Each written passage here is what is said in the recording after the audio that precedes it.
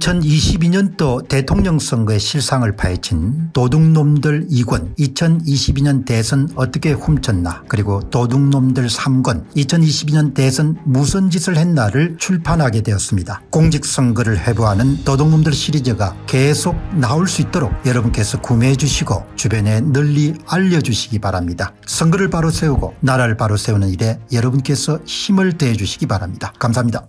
그래도 참 뭐 이재명 대표가 힘들지 않겠습니까 하기야 뭐 죄를 지었으니까 힘든 거죠 뭐. 예.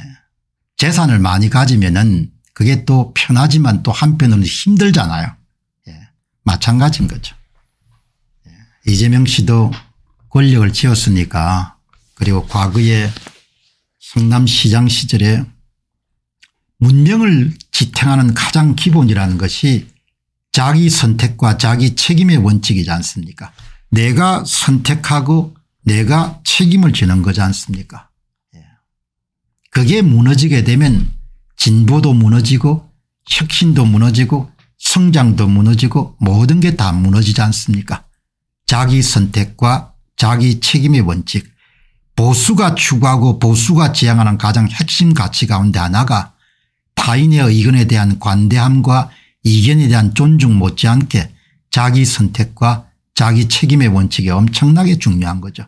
그것이 있어야 개인도 성장하고 발전하고 성공할 가능성이 있는 것이고 공동체도 마찬가지지 않습니까 예.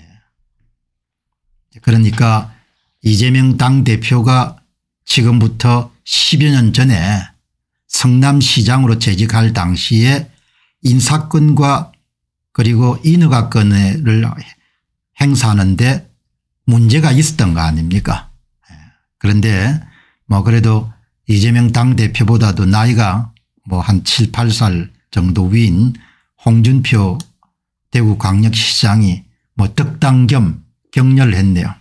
아마 이 지방자치단체장이나 또 도지사나 이런 것을 또 광역시장을 하게 되면은 이제 업무 행정 업무를 보는데 여당 힘도 빌려야 되지만 야당 힘도 빌려야 되기 때문에 뭐 지나치게 특정인을 공격하거나 뭐 이렇게 하기는 힘들죠. 아마 홍준표 지금 대구광역시장이 지금 원내에 있었으면 굉장히 강하게 글도 쓰고 이렇게 했지만 뭐 지금은 그렇게 하지 않고 예, 그러니까 이번에 쓴 것도 이재명 당대표가 잡초처럼 살아서 참 정신력이 대단하다.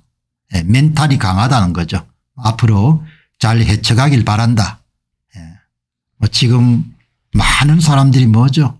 예. 본인이야 뭐 얼굴을 다 관리를 해가지고 뭐 그냥 무난하게 넘어가는 것처럼 보이지만 속이 얼마나 힘들겠습니까 이재명 당대표가. 예. 그 사람이니까 어마어마하게 힘들 겁니다. 예. 그리고 뭐 온 사방에서 뭐죠. 예. TV를 켜거나 신문을 보게 되면 모두가 다 그냥 날선 공격을 하게 되면은 뭐 보통 사람이면 그냥 무너질 정도로 그렇게 힘들죠. 예, 그런 상황에서 홍준표 당 대표가 저 대구광역시장이 뭐 덕담 성격의 예, 덕담이지만 꼭 덕담만이 아니고 예, 뭐 약간의 비판도 하지만 그럼에도 불구하고 상대방이 볼 때 지나치게 섭섭하지 않을 정도의 그런 이야기를 페이스북에 실었네요. 이재명 당대표의 체포동의안이 과반수에 못 미쳐 부결은 되었지만 민주당에서만 이탈표가 31표나 나와서 찬성표가 한 표가 더 많은 놀라운 결과가 나왔습니다. 그런데 아직도 수사 중인 사건이 많은데 이게 중요합니다. 이번은 검찰의 1차 영장 청구안이라는 것은 기본적으로 대장동 개발과 위례 신도시에 관한 건입니다. 그 외에 성남 FC 구단이라든지 그다음에 변호사비 대납이라든지 특히 대북 송금과 관련된 그런 소위 인화성이 강한 그런 주제는 별도로 검찰이 뭐죠 기소를 할 수 있는 사안입니다. 그런데 아직도 수사 중인 사건이 많은데 이번 사건을 검찰이 일단 불구속 기소를 하면 은 민주당 당헌에 따라 당대표 사퇴 논쟁은 격화될 것이고 검찰이 2차 구속영장을 청구하게 되면 다른 건입니다. 대북 송금이라든지 그 다음에 변호사비 대납이라든지 예? 그 다음에 뭐 성남FC 구단의 예, 문제라든지 그런 부분에 대해서 영장을 청구하게 되면 민주당의 부담은 두 배로 더 커지게 될 것입니다. 그때 또 포결을 하게 되면 과연 민주당의 선택은 어디로 갈지 참 어렵습니다. 예. 그나저나 이재명 대표의 정신력은 참 대단합니다. 예. 정치를 하다 보면 은 정치인으로 살다 보게 되면 은 예. 이런 뜻하지 않는 사건에 연루가 돼 가지고 엄청나게 주변 사람으로 공격을 받을 경험이 많기 때문에 홍준표 대구광역시장이 이제 위로를 하는 겁니다. 그나저나 이재명 당대표의 정신력은 참 대단합니다. 아마 오늘 방송을 보시는 분들도 야 다른 건 몰라도 정말 멘탈 하나는 참 초강력이다 이렇게 생각하시면 많을 겁니다. 예, 저도 동의합니다. 잡초의 생명력으로 살아온 인생이라서 그런지 참으로 대단한 정신력입니다. 예, 뭐 인정할 건 인정해야 되는 거죠.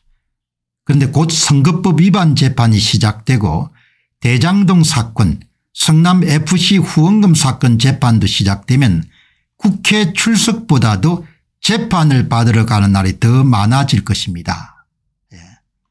그러니까 뭐 국회가 현역 국회의원에 대한 체포동의안을 부결시키든 가결시키든 관계없이 예, 일단 기소가 되고 재판에 넘기게 되면 재판정에는 반드시 나가야 된다는 겁니다.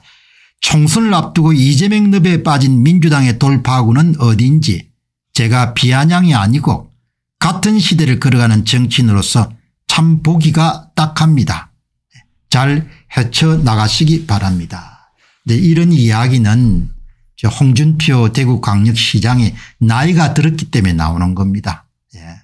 그러니까 아주 첨예하게 상대방하고 격돌하고 뭐죠.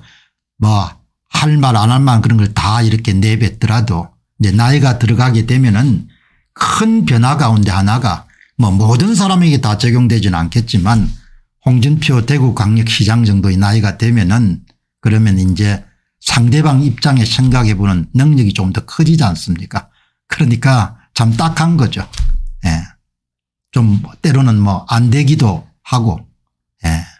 그래서 이런 이야기가 나오는 겁니다. 같은 시대를 걸어가는 정치인으로서 참 보기가 딱합니다. 잘 헤쳐나가시길 바랍니다. 뭐 이런 이야기를 지금 하는 겁니다. 예. 저도 뭐 이제 이재명 당대표를 보면은 참 정신력 하나는 타의 추종을 불허할 정도로 참 강한 사람이구나. 지금 정도면은 얼굴에 그냥 아주 선이 분명히 그려질 정도로 고민한 흔적들이 나올 건데 뭐 그런 부분들이 크게 드러나지 않게끔 잘 헤쳐나가는 것 같은데 그러나 뭐 가장 중요한 것은 너무나 뭐 이렇게 후회스러운 일일 수도 있는데 뭐 지금부터 10여 년 전에 그런 성남시장으로 재직할 당시에 본인이 한 행위 자체가 지울 수가 없는 거 아닙니까? 마치 선거 사기를 기획한 자들과 전산을 조작한 자들이 중앙선거관리위원회 발표한 후보별 득표수에 남긴 흔적을 지울 수가 없지 않습니까? 초강력 여러분들 지우개를 가지고 지우더라도 지워지지가 않지 않습니까? 그래서 우리가 살아가면서 삶의 발걸음 발걸음마다도 가능한 바른 길에 쓰고 흠이 안, 안 잡힐 일을 해야 된다는 것이 그걸 하고 나면 그 다음에 지울 수가 없지 않습니까 예, 그게 지울 수가 없거든요. 지울 수가 없기 때문에 그래서 이제 이, 양, 예, 이 양반이 뭐 지금 고초를 당하고 있는 거죠.